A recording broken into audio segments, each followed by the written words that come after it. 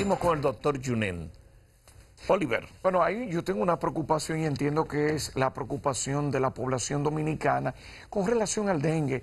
El paso del año pasado, que en el invierno se decía que solamente se producía el mosquito del dengue en el tiempo de verano, en el calor. Y además vi morir hijos de amigos entre 12 años y 19 años. Es preocupante la edad. ¿Cuál es la edad más preocupante para el dengue? ¿Y por qué esta situación? ¿Y si existe una vacuna preventiva? Sí, pues excelente pregunta. Yo creo primero porque estamos hablando de dengue cuando eh, la población entiende que el dengue está bajito en este, en este momento. El dengue vive en nosotros y vivirá por muchos años.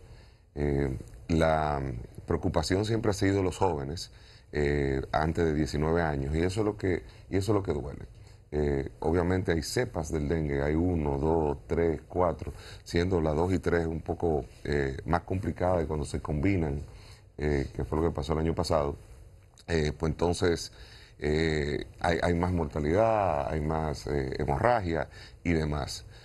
sobre la vacuna, sí, hay varias vacunas. ¿Y por qué no se promueve? Yo no escucho nada. Porque, bueno, inclusive uno de los estudios se hizo aquí, eh, la, vacuna japonesa de Takeda, de la farmacéutica Takeda, que se llama Qdenga, eh, se hizo aquí.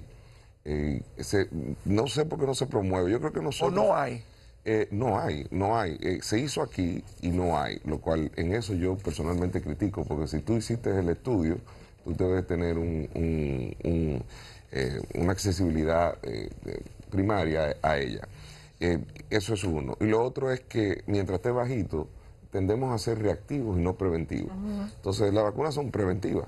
Eh, inclusive tenemos contamos con un plan de PIP, plan de, promoción y prevención en las ARS, ¿verdad? La, comunidad científica actualmente, médica, eh, está en sesión permanente, se reúne con las autoridades. ¿Cómo están los protocolos para manejar estas cosas que son estacionarias o que llegan cada cierto tiempo? Sí, eh, entiendo que sí entiendo que tenemos en la cabeza un, clínico bien amueblado.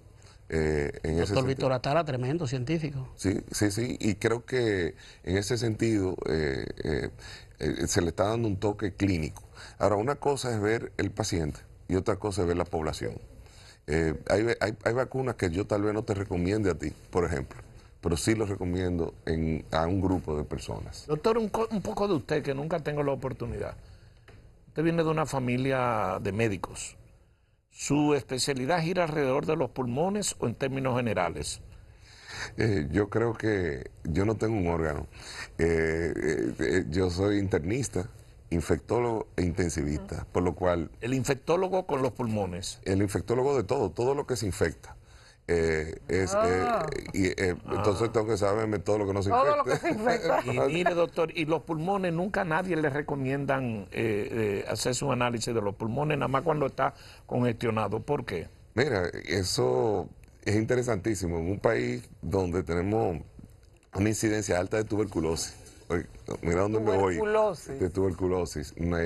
el hacerte una, una radiografía eh, activa, o sea, buscar la tuberculosis, un tamizaje activo, no esperar que... ¿Cada qué tiempo? yo diría que, que yo soy, y esto, es algo, tal vez tengo un sesgo cognitivo personal, de que se haga anual una tomografía de ¿Cuál, ¿Cuál es la realidad con los vapes, doctor? Con los cigarros eh, electrónico. Ah, electrónico. ¿Cuál es la realidad en el país y los jóvenes y ese tema? los cigarros electrónicos dañan. La realidad Acabo de morir un joven ahí en San Pedro, de 25 años, y se la causa. La realidad es que lo tenemos que quitar del mundo. Esa es la realidad. Ahora, como tú lo quieras ver y los intereses que hay detrás, eh, eso es otra cosa. El, el, cuando, cuando el vape hace, cuando, o sea, cuando se hace el cambio del cigarrillo o cualquier otra cosa al vape, hay síndromes de vape muy fuertes. Y, nada, eso la realidad es que eh, tenemos que quitar eso de ahí. ¿Cómo va ARS Yunen?